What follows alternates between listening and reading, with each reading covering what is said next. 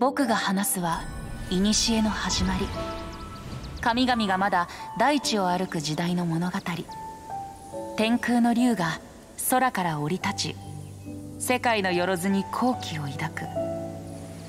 竜は自ら答えを探し雑然とした世に目を回す。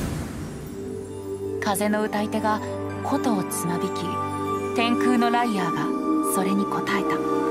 竜は好奇に駆られし幼子で過去の苦悩を忘却せしと飛翔しただけ。それは歌に耳を傾け歌をそらんずる。万物に己が心を理解させるために。歌い手と竜は伝説となり暗黒の時代がやがて始まる。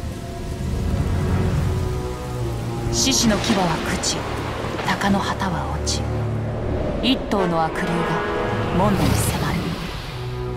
大聖堂は真紅の影に包まれため息は詩人によって再び歌となった。天空の竜が召喚に応じ暴風の中悪竜と殺戮に舞う。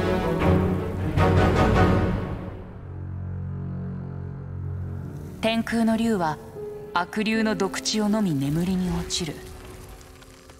よみがえりし時知る者は誰一人いない。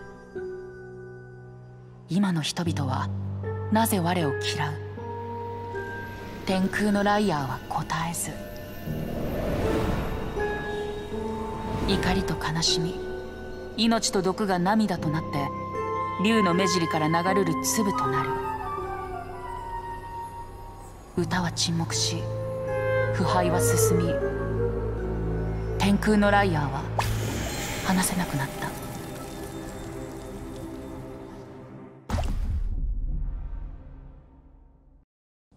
優しい子だったのに今はこんな風に悲しみ怒りに満ち溢れている。僕も涙の結晶を持ってるんだ。浄化をお願いできるかな。